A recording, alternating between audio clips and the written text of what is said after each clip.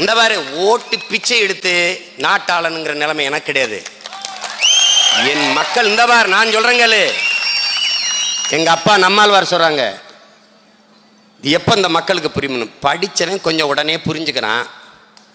படிக்காத உழைக்கும் மக்கள் கஷ்டப்படும் போது தான் தெரிஞ்சுக்கிருவாங்க. இப்போ கஷ்டப்படுறாங்க தெரிஞ்சுக்கிடுவாங்க என்ன தெரிஞ்சுக்கிருவாங்க? இவங்களை விட்டால் நாதி இல்லை.